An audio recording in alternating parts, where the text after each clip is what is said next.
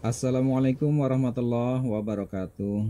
Selamat berjumpa dengan channel Yes Go Green teman-teman. Yuk kita akan membahas sedikit tentang uh, Penanaman tanaman dolar ya Atau daun dolar.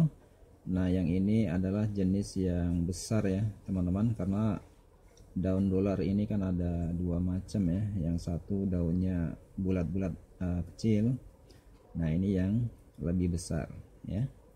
Ini uh, baru saja ditanam ya. Yaitu dengan uh, kita tanam posisinya uh, dekat dengan tembok seperti ini ya.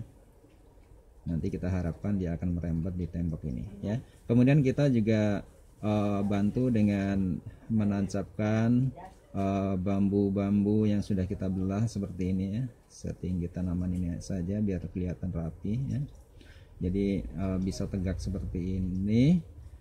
Dan nantinya ketika mereka mulai tumbuh ya akan muncul akar-akar yang akan mencengkeram ya mencengkeram pada tembok ya akan merambat ya, menempel pada tembok. Seperti yang uh, sering kita lihat yang uh, pada tembok yang sudah jadi tanamannya ya. Nah ini uh, awalnya seperti ini. Awalnya seperti ini ya. Jadi kita bantu untuk oh, tanaman ini agar tegak ya mengarah pada tembok seperti ini ya nanti ketika sudah mulai tumbuh akarnya dia akan mulai mencengkeram dan uh, beberapa cabangnya akan uh, menutupi rata pada permukaan tembok ya, seperti jadi sangat mudah ya.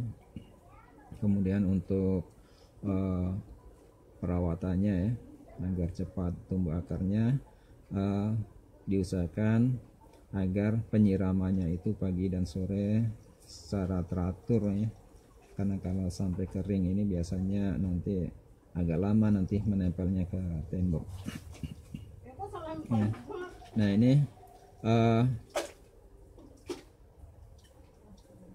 boleh kita ikat ya. Boleh kita ikat pada bambu-bambu yang kita tancapkan uh, untuk penopangnya ya. Namun uh, diusahakan jangan menggunakan kawat karena dia akan melukai batangnya akhirnya rusak dan uh, apa melukai ya seperti ini teman-teman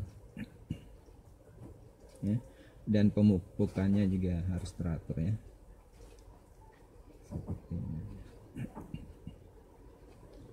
Oke, sampai jumpa. Wassalamualaikum warahmatullahi wabarakatuh.